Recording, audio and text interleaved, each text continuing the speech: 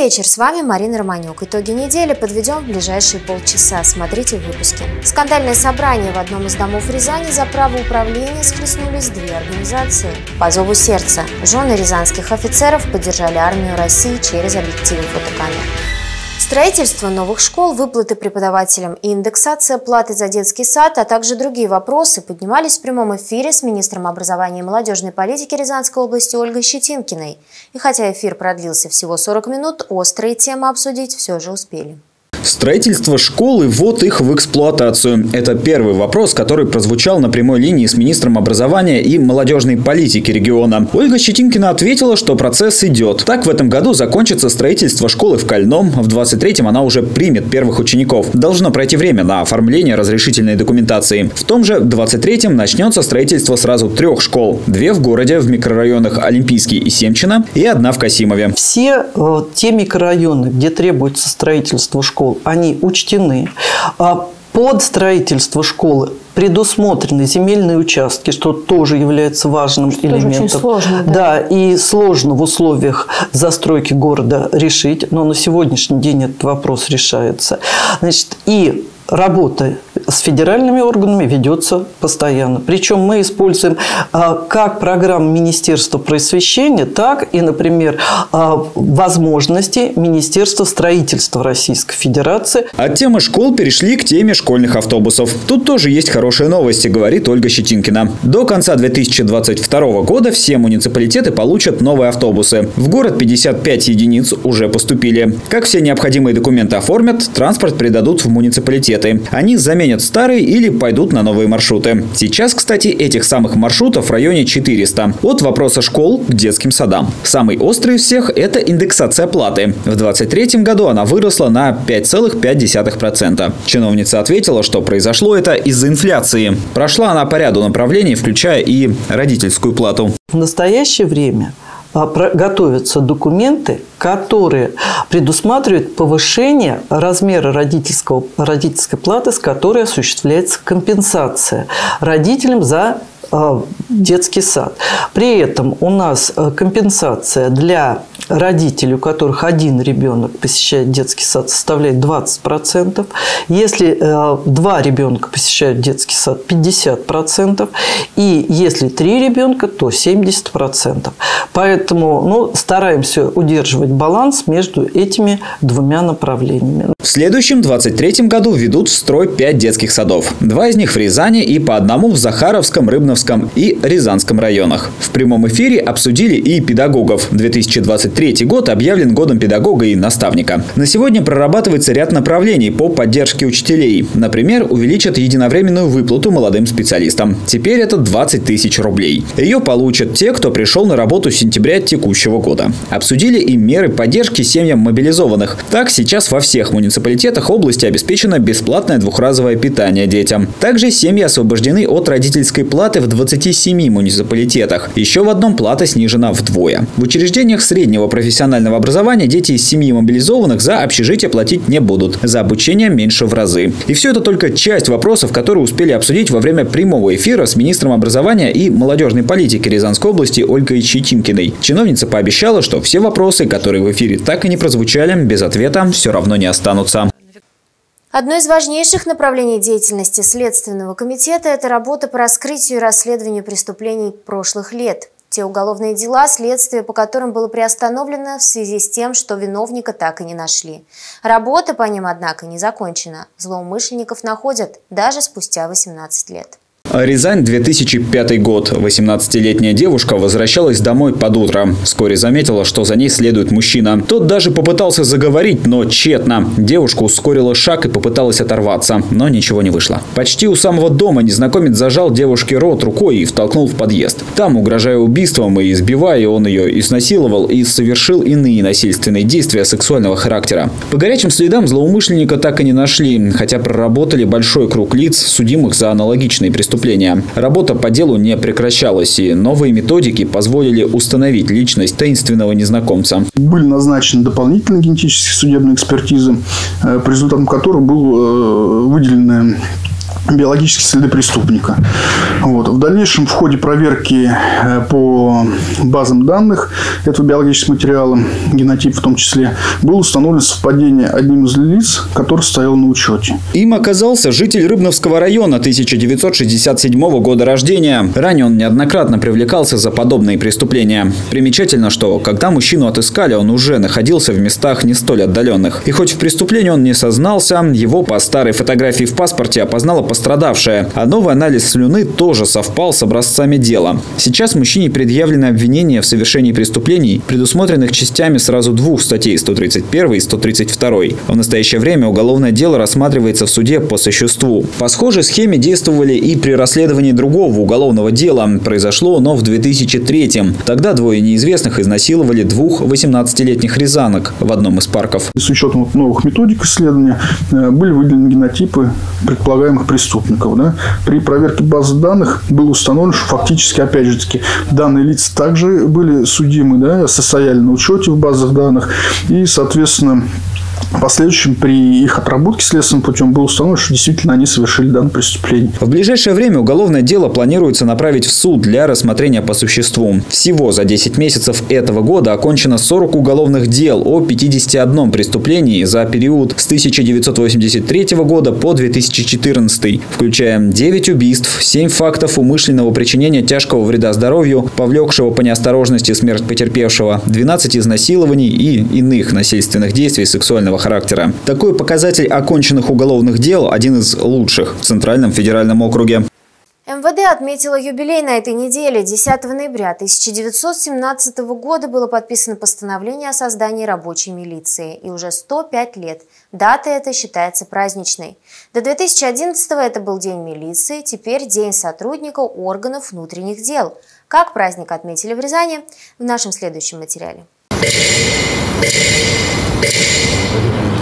Возложение цветов к мемориалу – это уже добрая традиция, сложившаяся на протяжении многих лет. На камне высечены фамилии полицейских, погибших при выполнении служебных обязанностей и на фронтах Великой Отечественной войны. День сотрудника органов внутренних дел всегда начинается с дани уважения подвигам своих коллег.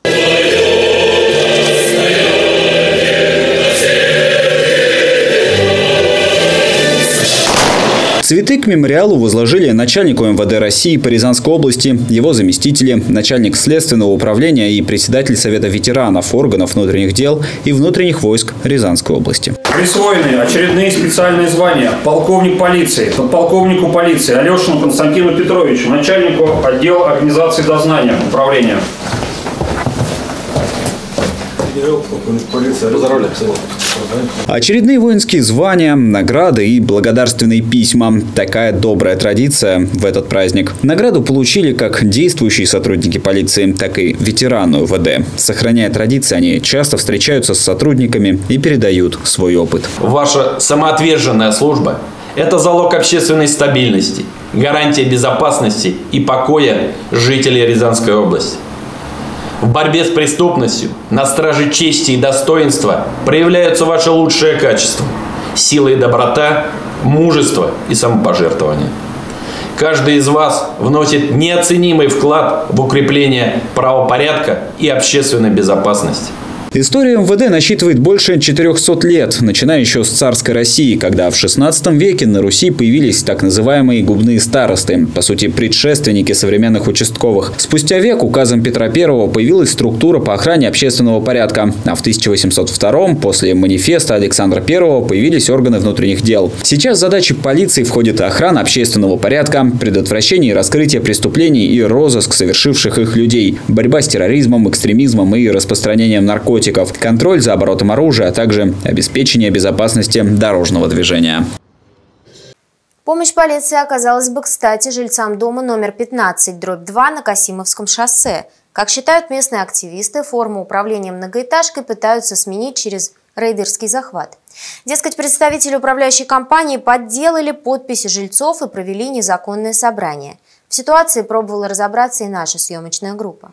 Квартира 21, Мирель Ольга Николаевна. Да, к сожалению, вот она сейчас э, на работе, вот присутствует ее мама. Вот, э, точно так же ее подпись была подделана, и она э, сообщила, не никогда не участвовала, не подписывала, ни, ничего. И таких поддельных подписей большинство, говорит Максим Мех. Он председатель ТСЖ. Голосование о смене способа управления дома прошло без его ведома. Мол, собрались активисты, которые против ТСЖ и с легкой руки подмахнули за большинство. Подписались даже за солдата, который сейчас в зоне СВО, говорят жильцы. И с 1 ноября способ управления многоквартирным жилым домом изменился. Вопреки, мол, мнению людей. Нам нужен тот председатель, которого мы видим. Если у нас есть какая-то проблема, не знаю, прорвало трубу или пахнет газом или еще что-то, мы ему звоним, он приходит в течение 5-10 минут. То есть вот а у меня а, Максим Русланович у нас управляет, у нас не было с ним проблем. Дом 15, корпус 2 по улице Касимовское шоссе 2009 года постройки. Все это время он управлялся через ТСЖ. Теперь с 1 ноября 2022 года ситуация изменилась. Официально. Формально дом остается под руководством ТСЖ. И сейчас управляющая компания «Рязань Комфорт Сервис» начинает дом благоустраивать. Жильцы говорят, что делают они это, что называется, для картинки. Косят траву в ноябре, например, а в подъезды пытаются проникнуть с помощью болгарки, ибо жильцы не пускают. Жильцам, естественно, такая ситуация не по нраву. Когда а, узнали о подделке, в жилищную инспекцию обратилось большое количество людей. Вот я говорил про 44 человек.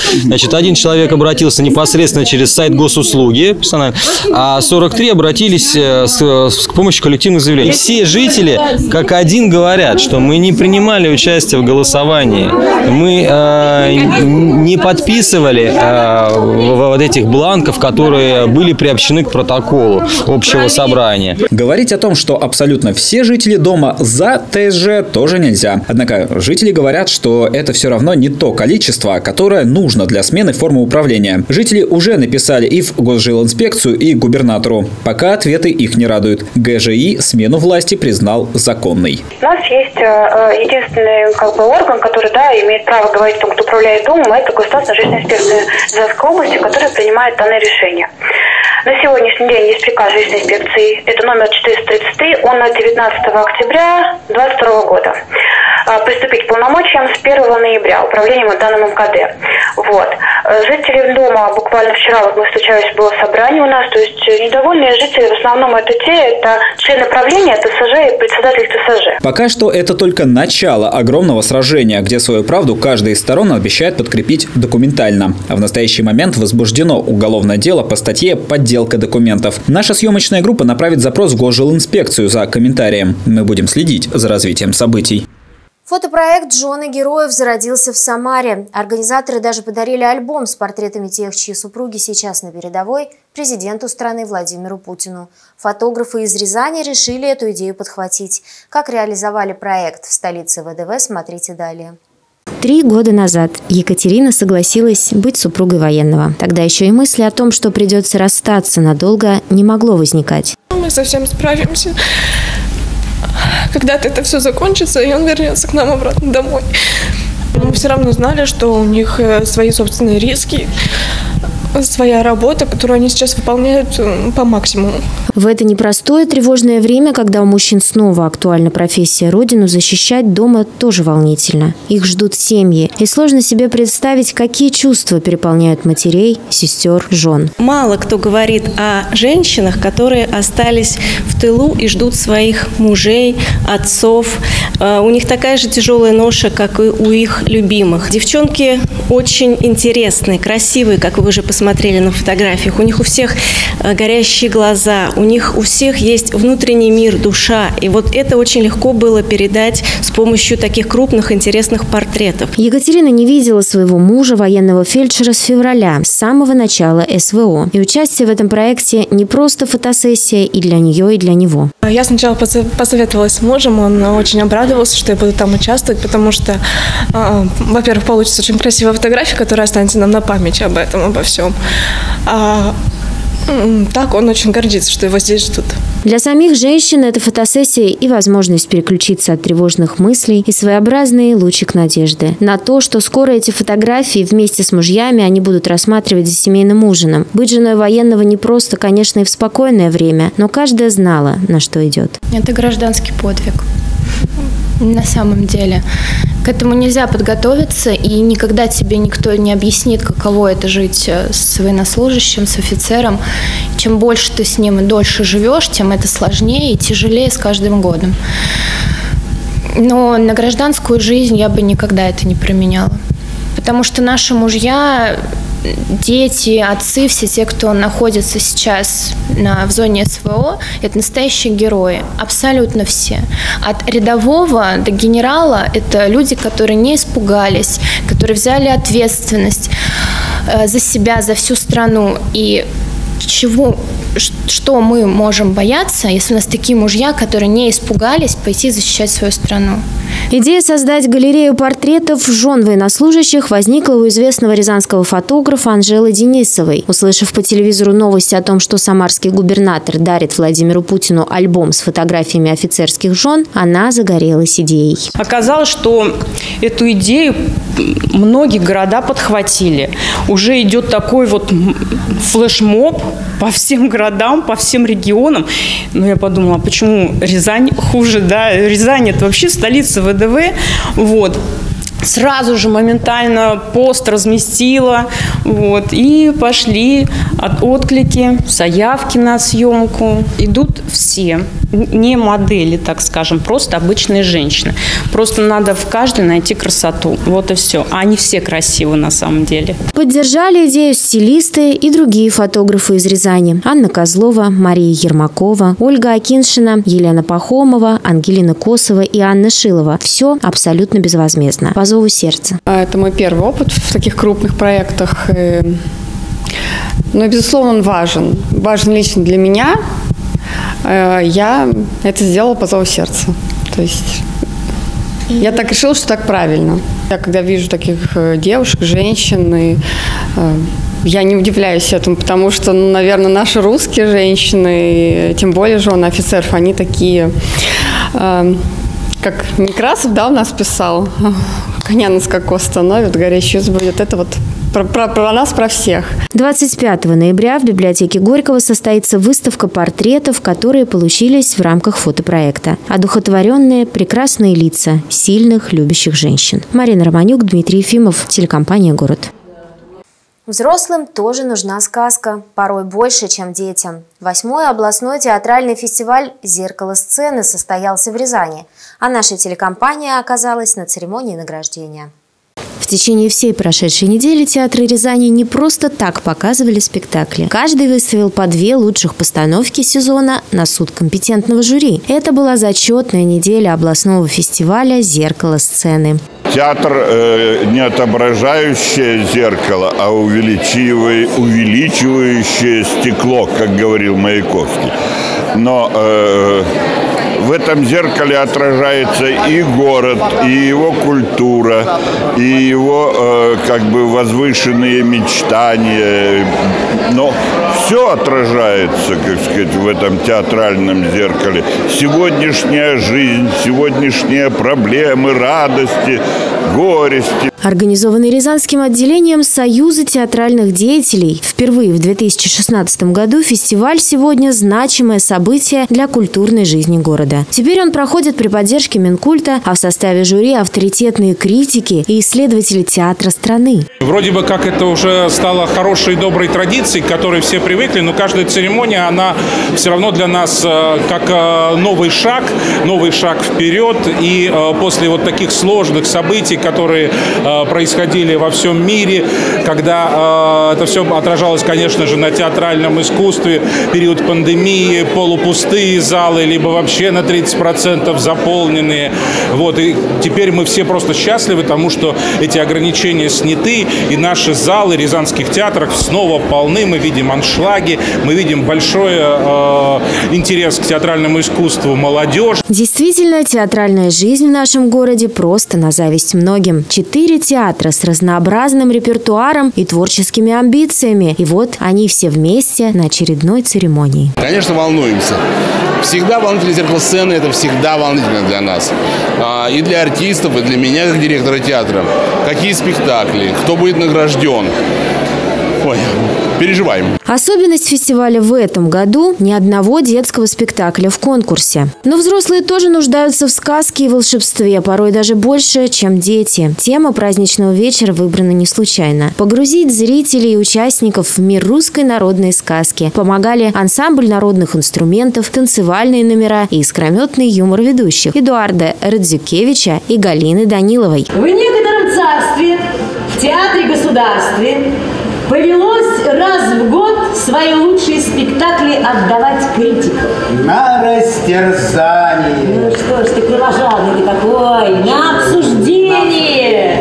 Номинаций было много, награжденных тоже. Каждый из конкурсных спектаклей заслуживал внимания, и свой зритель есть у всех театров. Дело вкуса и предпочтений. Практически все э, конкурсные спектакли я посмотрела, их всего восемь, но э, я как музыкант по образованию очень люблю музыкальные спектакли, поэтому э, мои, э, мои пристрастия и моя любовь – это Бейдера. Но задача жюри – объективно оценить номинантов и беспристрастно выбрать лучших, что даже для звездного состава судей, которые оценивают по нескольку сотен спектаклей в год, не так просто. Больше всего наград досталось спектаклю «Синяя борода». В номинациях «Лучший хореограф», «Лучший композитор», «Лучший художник по костюмам» и «Художник по свету», ансамбль спектакля, а также в главной номинации вечера «Лучший спектакль». Как вы уже знаете, я не Артем Кручинский. А, ну вот я знаю, что Артем... Артем обязательно бы сказал спасибо своим мальчишкам, музыкантам, Максиму, Леше и Жене огромное за то, что они делают. Это живая музыка. Они огром... не, не просто музыкальное оформление спектакля, а артисты. Спецпремию жюри получила и сама Анна Конен, режиссер спектакля, много раз выходившая в этот вечер на сцену забирать статуэтки для участников своей команды. Спектакль уже знаменит в театральных кругах и популярен у зрителей. К тому же он будет претендовать на всероссийскую премию «Золотая маска». Немало наград отправилось и в команду спектакля «Иванов» театра драмы. Дмитрий Акриш получил статуэтку за лучшую режиссуру, исполнитель главной роли Валерий Рыжков – награду за лучшую мужскую роль. И если вы еще не видели шедевров, которые показывают на сцене театров в родном городе, поспешите. А зеркало сцены в очередной раз, отобразив волшебный мир театра, напоминает о том, что сказки есть место во взрослой жизни. Марина Романюк, Михаил Лазуткин, телекомпания «Город». В мире продаж стартовала «Черная пятница», когда всех покупателей ждут суперскидки. Сеть магазинов «Панда Оптика», к слову, самая популярная сеть «Оптик» в Рязани, тоже объявляет о своем дисконте – 90% скидки на оправы с 15 по 30 ноября. Есть и другие сюрпризы. Мировые бренды по фантастическим ценам. С 15 по 30 ноября во всей сети магазинов «Панда Оптика» 90% скидки на оправы. Но и это еще не все. По статистике, у каждого второго жителя нашей страны есть какие-либо нарушения по зрению. Но не все об этом знают. Так вот, в «Панда Оптика» этот пробел устраняют. Каждому посетителю проводят бесплатную диагностику. Здравствуйте.